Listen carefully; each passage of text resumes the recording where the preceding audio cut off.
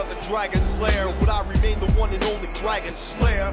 I'm the daily, I'm the mastermind of everything you question. Skill like pick a forest and the hollow ground is resting in. If the dream glimmer cube really exists, would you wish away the wars and the coming of apocalypse? Devastating like the chambers and dungeons combined. It's slicker than a 20 sided die. The ones who are not found divine must roll for soul. The horse is drowning in the moat with plague, and I'm the antidote cloak of night without a dagger in sight. It's just the wind and the blades of samurais. Wait for the sun to come up to watch the battle begin. Their heads are kept as trophies in the warrior's den, and souls descend and destroy the city weary and become elements of the chaos theory.